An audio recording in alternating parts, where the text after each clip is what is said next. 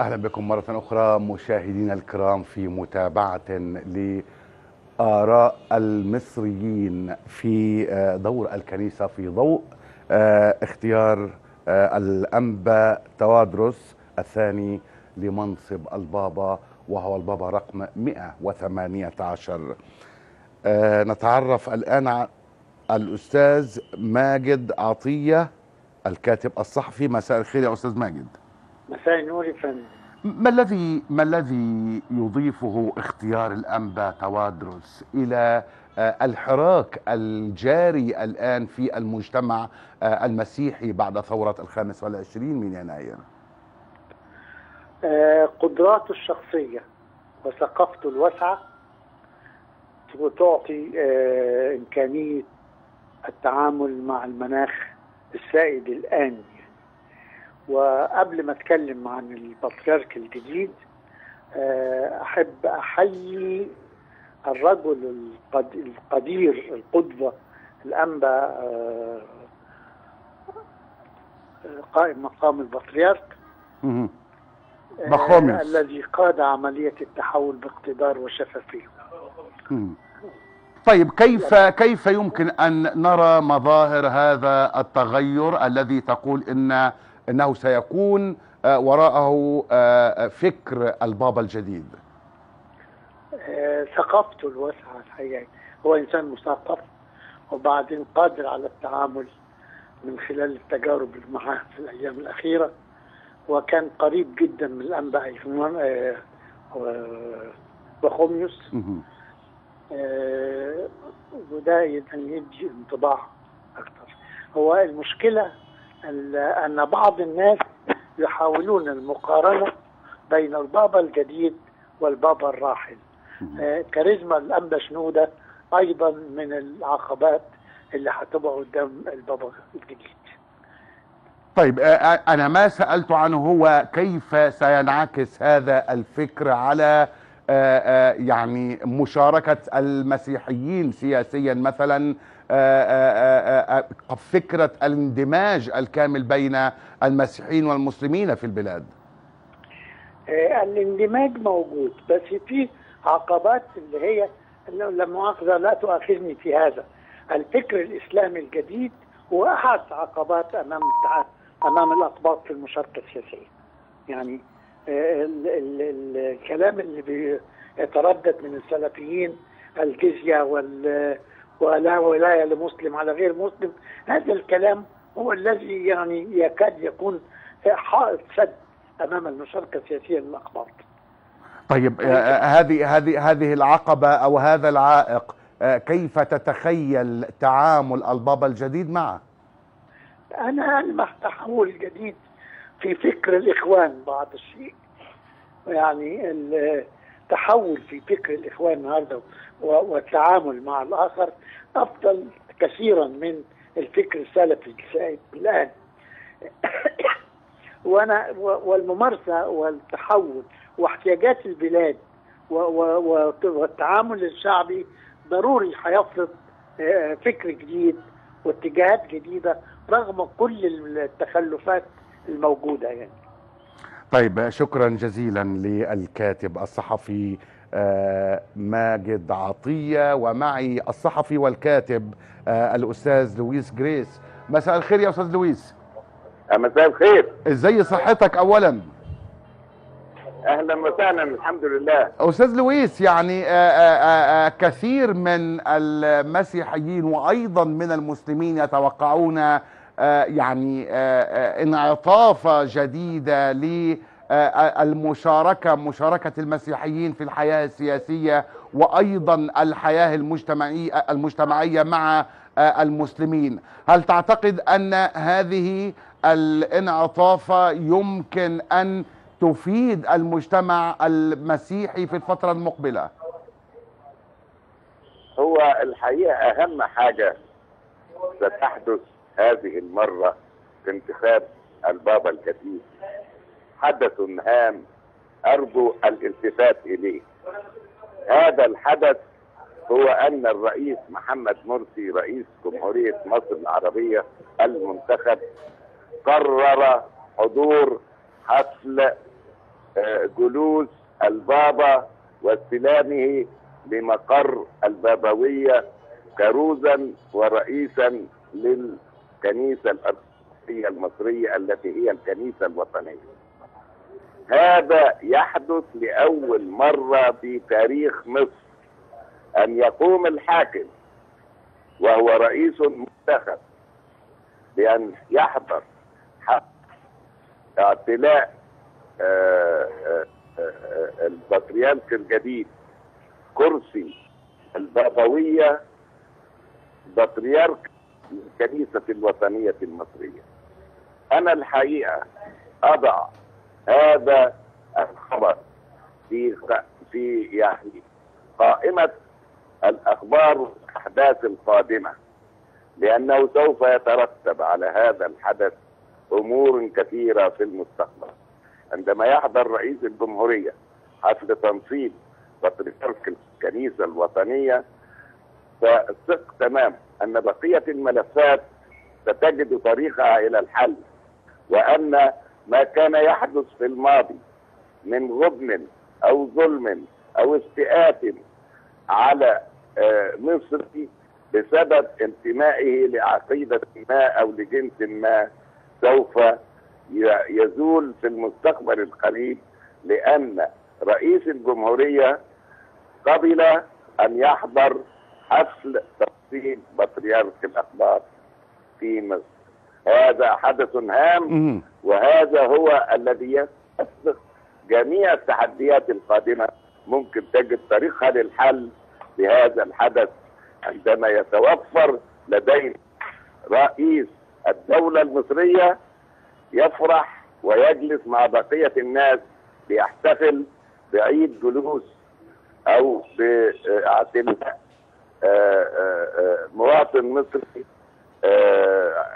كرسي البابوية في الكنيسة الوطنية. طيب أستاذ لويس يعني آه، أنت كيف تتخيل آه، مدى التغيير في المشاركة آه، السياسية للمسيحيين في عهد البابا الجديد؟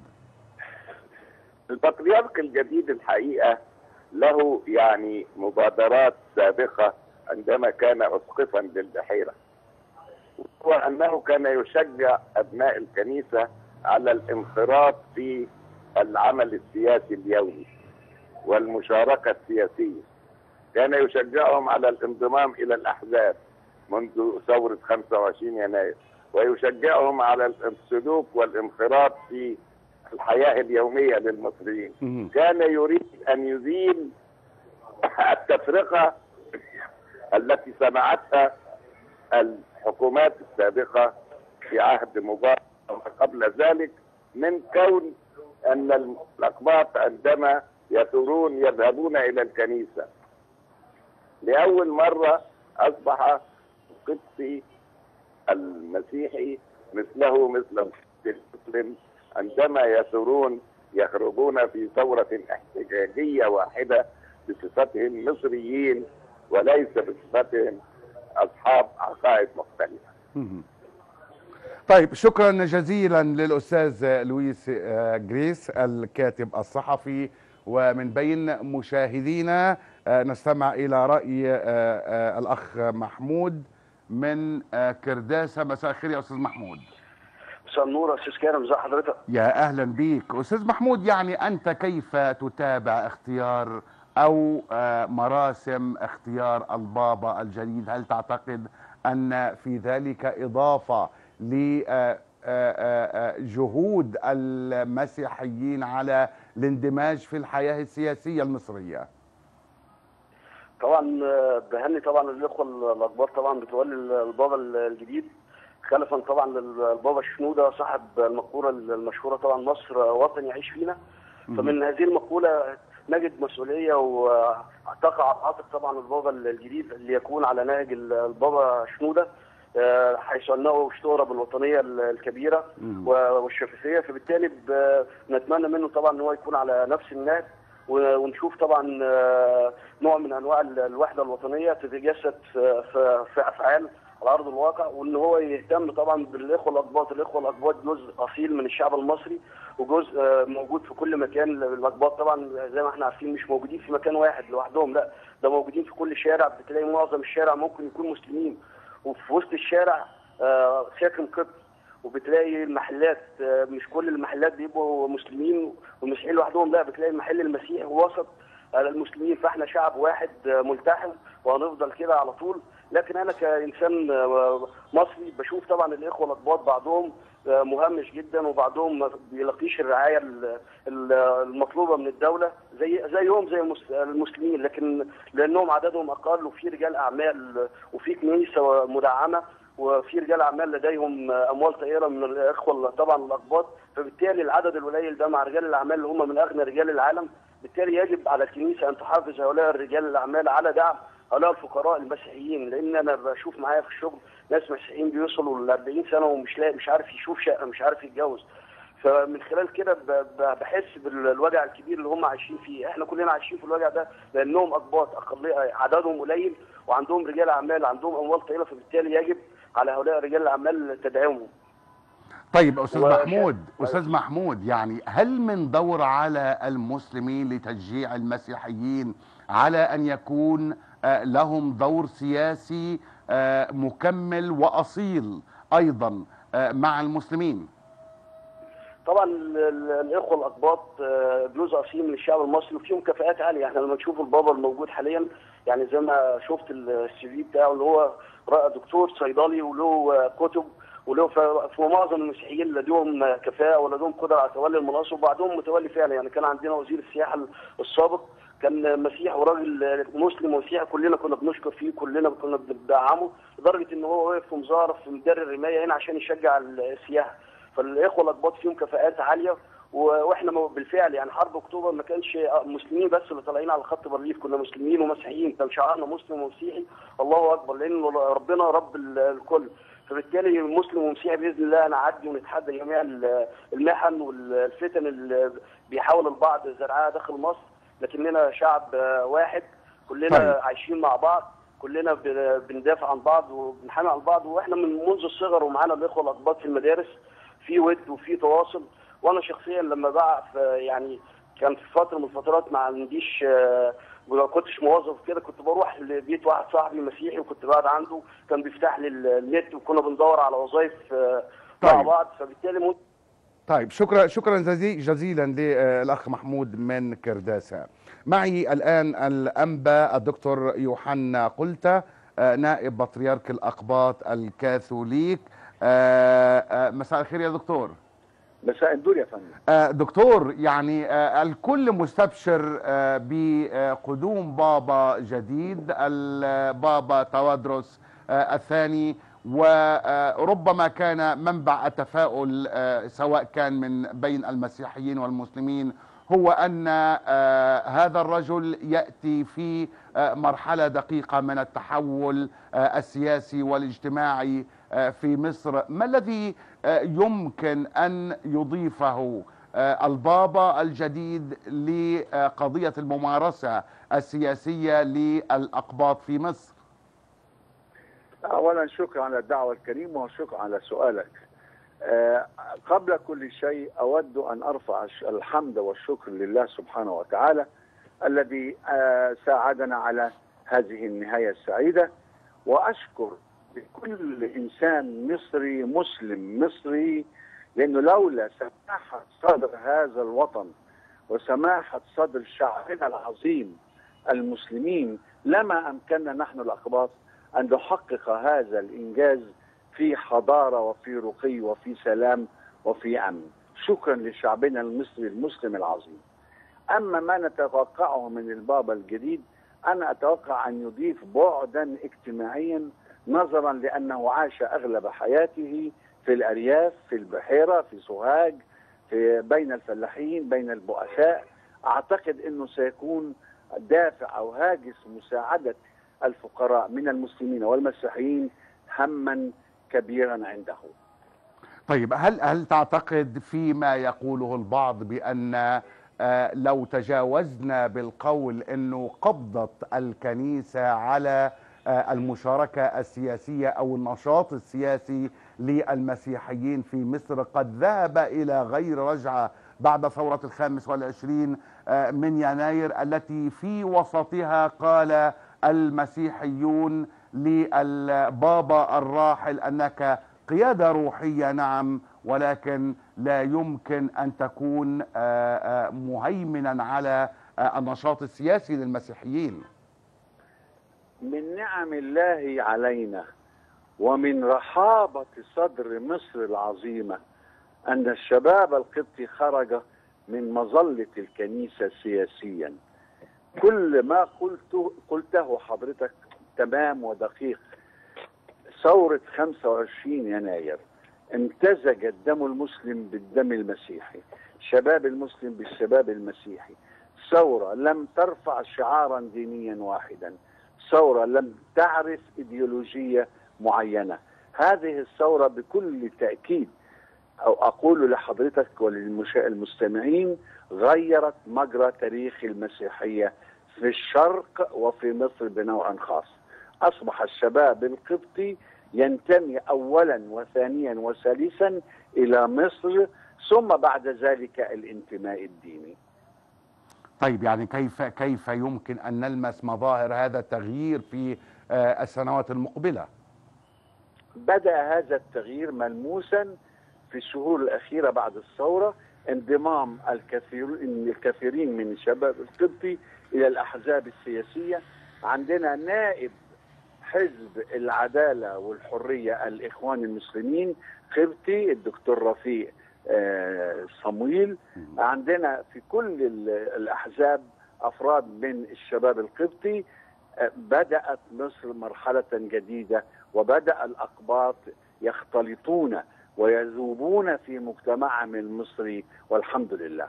شكرا جزيلا للأنباء. دكتور يوحنا قلت نائب بطريرك الأقباط الكاثوليك. آه، من بين مشاهدينا الكرام معي على الهاتف آه، مهندس سيد رمضان. آه، مساء الخير. باشمهندس مساء الخير أستاذ كارم باشمهندس يعني هل تعتقد أن وجود بابا جديد الآن يمكن أن يغير من آه، أوضاع المسيحيين العلاقة بين المسيحيين والمسلمين آه، المشاركة السياسية أيضا للمسيحيين في آه، المجتمع.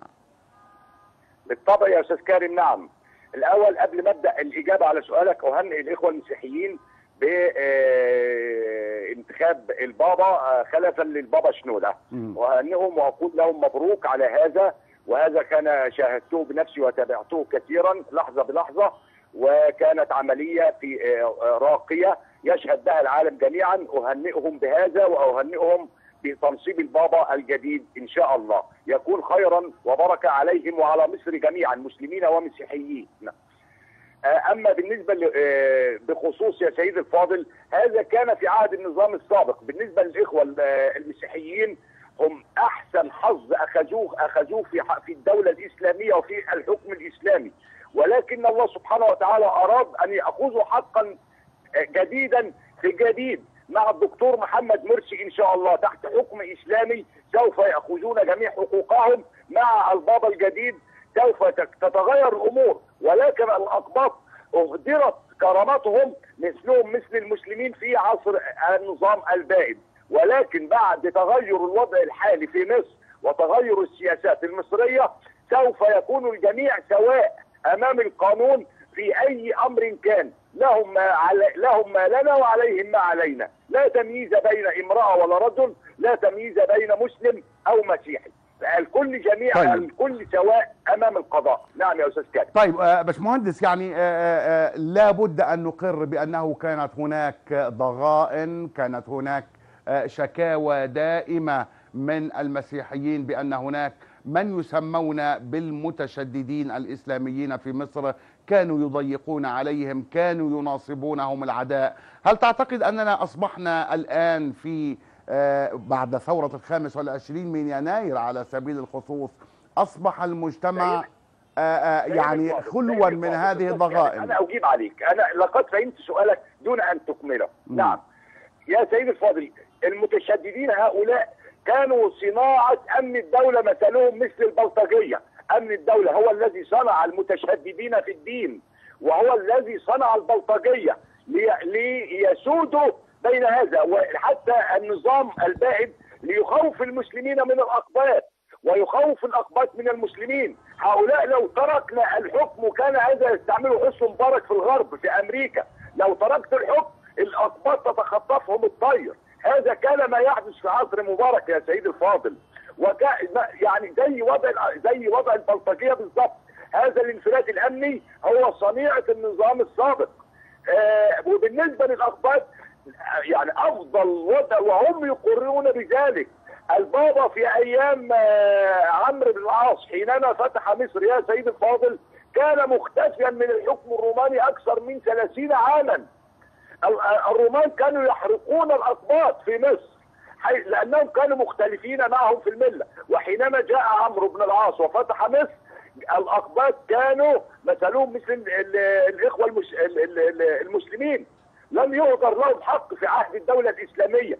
أما بالنسبة يا سيدي الفاضل وأقولها لك وأنا مطمئن وقرير العين الأقباط سوف يأخذون حقهم في عهد الدكتور محمد مرسي وكما سمعت نيافه الانبا من قبل آه، معه آه، ال- ال- ال- الأستاذ لويس جريس قال لك إن الدكتور محمد مرسي سوف يحضر حفل التنصيب وهذا لم يحدث يا أستاذ كارم من قبل. والدكتور محمد مرسي من جماعة الإخوان المسلمين حيث وأنا أحدثك يا أستاذ كارم وأنا لست من الاخوان ولا حزب حتى حرية وعداله ولا أي حزب في مصر على فكرة والدكتور محمد مرسي راجل من الإخوان المسلمين وراجل ينتمي لحزب الحرية الع- والعدالة وهو يحضر وأول رئيس مصري يحضر حفل تنصيب البابا. وأقول للإخوة المسيحيين مبروك عليكم وأنتم منا ونحن منكم. نعم يا أستاذ كريم. شكرا جزيلا آه، للمهندس سيد رمضان. معي آه، الآن الدكتور أحمد كمال أبو المجد. المفكر الإسلامي آه، المعروف. مساء الخير يا دكتور. مساء الأنوار أهلا وسهلا. دكتور آه، نحن نتحدث الآن عن بابا جديد. نتحدث نعم. عن مجتمع آه، مسيحي. يقر الجميع بأنه بدأ يذوب أو يندمج مع المجتمع ككل بكل فئاته وكل عناصره بعد ثورة الخامس والعشرين. من يناير. آه، هناك قضايا آه، كثيرة تنتظر البابا الجديد. هل تعتقد أن مثل هذه القضايا يمكن التعامل معها دون أن آه، تكون هناك حساسيات كالتي كانت آه، آه، كنا نراها في السابق؟ آه، بسم الله الرحمن الرحيم. شوف حضرتك حين تكون البلاد تمر بمرحلة فارقة في تاريخها يبقى لابد آه، من وضع الحوادث والتطورات والتغيرات الجزئية في السياق الأوسع لكل المرحلة بكل عناصرها وفيها عناصر إيجابية وفيها عناصر سلبية. ومن العناصر السلبية في السنوات الأخيرة أننا غفلنا عن تاريخنا وأصبحنا نتكلم عن العلاقة بين المسلمين والمسيحيين. كما لو كانت شيئا بدأ منذ أيام ناسين أنه البعد التاريخي مهم جدا. وأنه في الكثرة الغالبة من تاريخ مصر العلاقة بين المسلمين والمسيحيين كانت علاقة إيجابية. وقد يدهش الجيل الجديد بحكم صغر سنه وقلة تجربته نسبيا مم. أننا عشنا عصرا مختلفا تماما. بمعنى كان النسيج الوطني ملتحم وكانت الحركة الوطنية فيها زعماء مسلمين وفيها زعماء مسيحيين وكان التعايش والتجاور والتساند هو الصفة الغالبة. قصة بقى الفتنة الطائفية دي حديثة نسبيا. وأنا ممن يؤمنون بنظرية المؤامرة بمعنى أن الناس تدبر. كونها بنسميها المؤامرة دي مشكلة أخرى. إنما يكون هناك تواطؤ وتدبير لحماية مصالح معارضة لمصلحة المجموع المصري هذه حقيقة لا ينكرها إلا مكابر أو جاهل شديد الجهل. إذا آه، دعونا نشوف السياق ده آه، مشكلته إيه ويقتضي إيه. مشكلته إن بعض المشاكل العالقة لم تحسم في وقت سريع. وبالتالي ده بيلقي على من يتولى آه، الرئاسة الروحية والدينية للإخوة الأقباط في مصر. مسؤولية كبيرة جدا في أنه يحافظ على أمرين أن تكون الكنيسة المصرية طول الوقت كنيسة وطنية في المقام الأول وأن يكون ال- ال- الجسم ال- ال- ال- ال- القبطي في داخل الجسم المصري الأوسع متجانسا مترابطا اولا وثانيا أن تكون علاقته بالأغلبية المسلمة علاقة ود وتساند وإيمان بأن المصير مصير واحد مما يفوت الفرصة تماما ويحط عشرين تماما على كل متلاعب صغر أو كبر سواء كان صغيرا في حجم دولة صغيرة أو كبيرا في حجم الولايات المتحدة. نحن أمة تستعصي على التجزئة وعلى التفرقة فينبغي أن يكون هذا شعارنا لأن عدونا الحقيقي في المنطقة هو الكيان الصهيوني بما آه، يمثله من توجهات استعمارية استعلائية مدمرة للأمة العربية كلها. آه طيب دكتور هل تعتقد دكتور هل. تعتقد أن على. على علماء المسلمين آه، دورا يقومون به في آه، جعل المسيحيين أكثر إقداما أو أكثر تشجعا على المشاركة السياسية والمجتمعية طبعاً، بشكل طبعاً. عام سيدي الأغلبية مسؤولة أكثر وبالتالي ما نسميه مقتضيات المواطنة المشتركة هي مصيرها في يدنا ويد الإخوة شركائنا الأخباط شركائنا وإخوتنا وأصدقائنا وأعزائنا وذوي رحمنا وذوي قربانا. ده أمر ينبغي أن يكون واضحا عند المسلمين والمسيحيين لتفوت الفرصة وأنا بقول التحدي الكبير اللي كلنا أردنا أو لم نرد هو تحدينا الأكبر هو الكيان الصهيوني. والإخوة المسيحيين وكان بابا شنودة له آه، توجهات سليمة للغاية ومنع ال- السفر إلى القدس قبل ما تح- تحرر فلسطين. هذه ثوابت في كياننا الوطني وهي التزامات المواطنة المواطنة مش كلمة ظريفة تقال. المواطنة التزام بأمانة الكلمة وصدق النية وتوحد المشاعر كلها. وأنا بقول دايما إخواننا ال-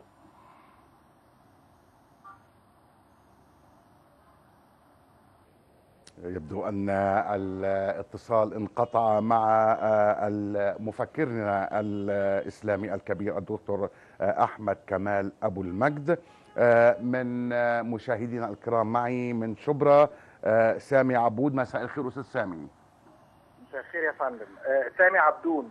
عبدون عفوا عفوا عفوا أستاذ سامي. الاستاذ. سامي عبدون آه، من شبرا. أستاذ سامي يعني هل تعتقد أن على المسلمين الاهتمام يعني إحنا لاحظنا في الأيام الماضية اهتماما من جانب المسلمين بإجراء الانتخابات لاختيار البابا ثم آه، القرعة الهيكلية التي جرت اليوم لاختيار آه، البابا. هل تعتقد أن هذا الاهتمام آه، بين المسلمين آه، أمر جديد وهو وإيجابي في الوقت نفسه. لا يا فندم هو مش جديد. ليه؟ لأن إحنا حضرتك إحنا في مركب واحدة بلد واحدة. بلد يضمها وحدة وطنية. إحنا يا فندم كلنا مع بعض طول عمرنا مع بعض طول عمرنا بنحب بعض. طول عمرنا بنهتم بشؤونهم وهم يهتموا بشؤوننا. كلمة شؤونهم وشؤوننا إحنا شؤون واحدة. يعني ما فيش فرق بيننا وبينه. ليه؟ لأن أنا قاعد في شبرا أنا حضرتك على فكرة كلمة قبطي أنا قبطي مسلم. نعم، فأنا نعم. حضرتك كلمة قبطي لا قبطي مسيحي وقبطي مسلم. نعم. أنا أنا مسلم الحمد لله. وحضرتك أنا بحب ليه؟ لأن أنا جنبي مسيحيين أصحابي كتير جدا جدا. وطبعا إحنا بنفرح لفرحهم طبعا بطريقة لا تتخيلها.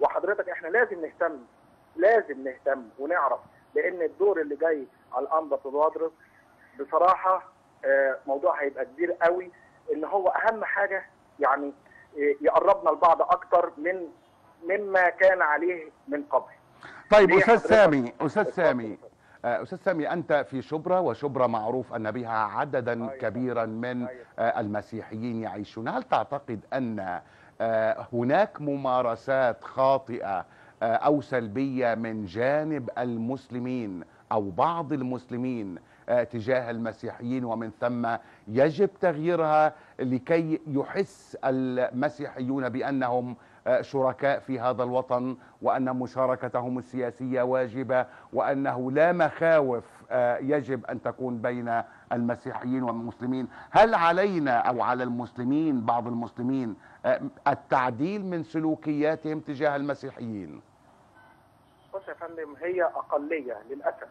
أقلية معلش في كل مكان في أقلية مندسه إذا كان في أقلية بين المسلمين في أقلية بين المسيحيين. معلش في حضرتك تزمت في كذا في كذا في كذا. معلش يعني حضرتك إحنا الحمد لله في فكر إحنا في شبرا حضرتك جينا لما كان حضرتك موضوع ال- الإذاعة والتلفزيون وقفنا أيام مزبيرو وقفنا مع بعض إن إحنا بنطالب بكل ذوق واحترام مع إخواننا المسيحيين هل حضرتك أنت لما نيجي اقف أنا كتف بكتفه وهو لما كان واقف معايا في التحرير كتف بكتف هل دي ما كانش ليها تعبير وليها صدى إن إحنا كلنا فكر واحد وعقل واحد هل هل هل الديانة هل من زمان أيام جدي وأبويا و و و الناس دي كلها هل كانت تفرق بين المسلم والمسيحي؟ اشمعنى اليومين دول؟ طيب حضرتك على فكرة معلش يعني الفكر للأسف إحنا بنطوره ولكن للأسف في بعض ناس من- مندسه بتحاول إن هي للأسف أنا بقولها للأسف إن هي تفرق بين مسلم ومسيحي، يعني إيه كلمة مسلم ومسيحي؟ أنا في الشغل معايا مسلم ومسيحي، أنا معايا في البيت مسلم ومسيحي، معايا في كل حتة وكنت في الجامعة و و و والكلام ده كله مسلم ومسيحي. ليه إحنا ليه ليه ليه دايما الإعلام معلش أنا آسف مش حضرتك يا أستاذ كارم ولكن أنا. بتكلم عن عامة إحنا ليه الإعلام يقول مسلم ومسيحي؟ لا مفيش حاجة اسمها مسلم ومسيحي، إحنا كلنا كيان واحد ومكان واحد، صدقني طيب. والله إحنا بنمشي أنا اثنين وثلاثة وأربعة بي- بينا طيب. مسلم ومسيحي. أنا ش... أنا أشكرك شكرا جزيلا آه، الأستاذ سامي عبدون آه، من شبرا في القاهرة معي على الهاتف الآن الدكتور ناجي فوزي آه، أستاذ في أكاديمية الفنون مساء الخير يا دكتور مساء النور يا فندم. آه، دكتور ما الذي يضيفه آه، انتخاب آه، الأنبا توادرس آه، بابا جديد آه، للكنيسة في مصر؟ هل آه، سيضيف إلى فكرة أو مفهوم آه، المشاركة السياسية والمجتمعية لدى آه، المسيحيين؟ هو آه، أعتقد إنه مش بمعنى الإضافة قد بمعنى التأكيد. لأنه إحنا في خلال الفترة الأخيرة وتحديدا من آه، أواخر العام 2010 أي حتى قبل 25 يناير 2011 خرج المصريون المسيحيون من عباءة السلطة الدينية أو حتى ما بقاش اسمها سلطة دينية في في الواقع المسيحي من عباءة الرعاية الروحية في المجال الدنيوي، أي بمعنى؟ أنه لا وصايه سياسية من المؤسسة الدينية على مسيحي مصر. هذه الآن مقولة غير صحيحة مقولة مغلوطة لأنه ثبت عدم صحتها بدءا من أحداث العمرانية في أواخر 2010 ثم رد الفعل على حادثة كنيسة القديسين في الإسكندرية أثناء الصلاة على جسامينهم في يناير 2011 ثم كل ما تم خلال فعاليات الثورة المصرية بدءا من 25 يناير وأيضا حتى الآن. الأمور اختلفت كثيرا وستظل مختلفة لأن هذا هو الوضع الطبيعي، ما كان يحدث خلال 40 عاما سابقه لم يكن هو الوضع الطبيعي، ما كان يحدث هو كان استقطابا مقصودا من المؤسسة الدينية. أن تكون هي المتحدثة بالشأن السياسي للمسيحيين باعتبار أنه لن يوجد أو لا يوجد من يتحدث باسمه. ولكن وهذا دكتور كما ناجي دكتور ناجي هو كل ما في كل ما في الأمر أنه يتم تأسيسه من خلال السلطة السياسية الحاكمة والناس للأسف الشديد بتصدق إن هو ده الصح طيب دكتور. دكتور ناجي دكتور ناجي البعض بعض المسيحيين يرون أن يعني اهتمام البابا الراحل بأن يكون ممثلا سياسيا للأقباط في مصر. هذا أمر دفع إليه الأقباط دفعا لأنهم في بعض الفترات عزلوا سياسيا ومن ثم كان على البابا أن يقوم بهذا الدور. ما ده اللي بقوله لحضرتك فعلا. نعم. كان في ال 40 سنة اللي فاتوا كان استثناء طويل جدا لهذا السبب. وأنا ما هو ده ده ده مضمون اللي أنا طيب. بقوله بس أنا يمكن بقوله بتعبير مختلف شوية. طيب. هو فعلا ده هو ده فعلا حقيقي. فعشان كده بقول الظرف التاريخي اللي كان فيه البابا شنودة لم يعد موجودا بدليل إن هو نفس الظرف التاريخي لما ما كانش موجود في خلال السنتين الأخيرتين أو السنة ونص الأخيرتين من حياة البابا الراحل. هو تم التغير كان واضح جدا إن الظرف اتغير خلاص ما بقوش هم دولت اللي يتم تسييسهم عن طريق المؤسسة الدينية. لكن اصبحوا هم من نفسهم قابلين للتسييس بحكم الظروف. وابتدت تظهر بقى كل الاتجاهات الاتجاهات الليبرالية تظهر اتجاهات اشتراكيه تظهر اتجاهات يساريه حتى متطرفة مش بمعنى وحش لا بمعنى اليسارية ال- ال- التقليدية تظهر وهكذا. اتجاهات ليبرالية تظهر اتجاهات رأسمالية يمينية تظهر اتجاهات محافظة أيضا سوف تظهر وستكون موجودة. النسيج هو نفس نسيج الشعب المصري واحد.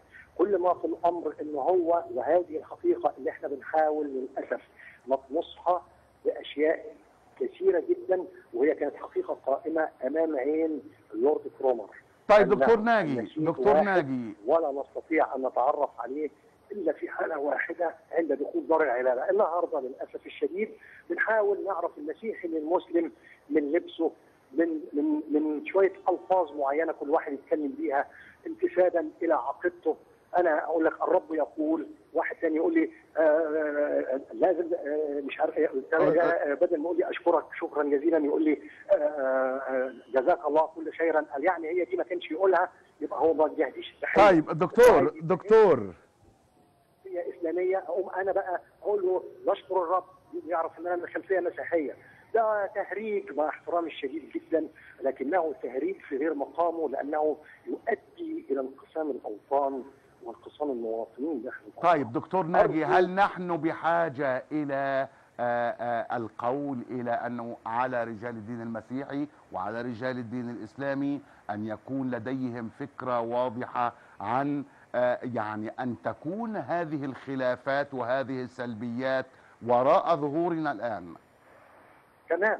ده حقيقي لأنه إحنا اللي إحنا فيه دلوقتي ده عبارة عن تكوين قعد يتم تأسيسه من حوالي 40 سنة تأسيس منظم. وإن كان تم تأسيسه بطريقة غير منظمة في أوقات كتير جدا. وإحنا ما بناخدش بالنا إن التاريخ بيقول وصدقني لو ناس قرت التاريخ في مصر هيعرف إن كل المشاكل السياسية والاقتصادية عندما يريد الحاكم المستبد أن يتخلص من أثارها في علاقته بمجموع المحكومين من سكان مصر يقوم يشد على الفتنة أو نسميه بالفتنة الطائفية.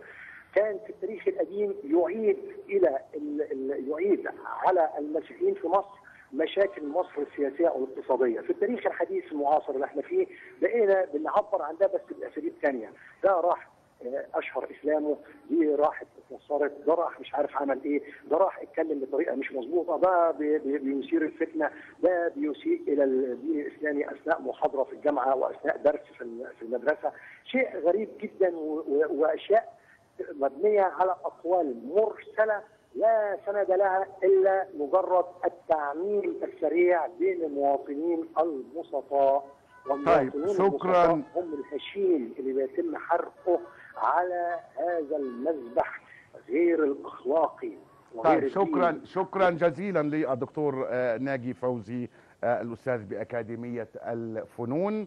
آه، معي من مشاهدينا أيضا آه، من مرسى مطروح الأخ موسى. مساء الخير يا أستاذ موسى. ألو أستاذ موسى؟ أيوه السلام عليكم. عليكم السلام. كيف تتابع وكيف ترى آه، انتخاب البابا الجديد والدور الذي يمكن أن يقوم به في آه، تقريب آه، أو آه، محو ما يمكن أن يكون هناك من خلافات بين المسيحيين والمسلمين في مصر؟ اولا. اولا اهن اخواننا المسيحيين في الوطن. وأتمنى أن يكون هذا يعني البابا الجديد فتحه خير جديدة على على مصر. ويعني لي عدة مطالب. يعني أتمنى أن نكون يعني بكل وضوح. طيب زي إيه يا أستاذ موسى؟ يعني أتمنى من البابا الجديد أن يكون ان لا يكون يتبع النظام الحالي كمثل السابق. أيضا يخ... أتمنى أيضا أن يكون هناك مطالب واضحة للأخوة المسيحيين في الوطن وأن يطالب بها علنا. نريد إن كانت هناك مشاكل فلتحل علنا. إذ كانت هناك قوانين تعجز بناء الكنائس فلننشئ قوانين. إذ كانت هناك قانون أصلا موجود ونحن الآن يعني الأخوة ما زالوا في مشاكل في الدستور.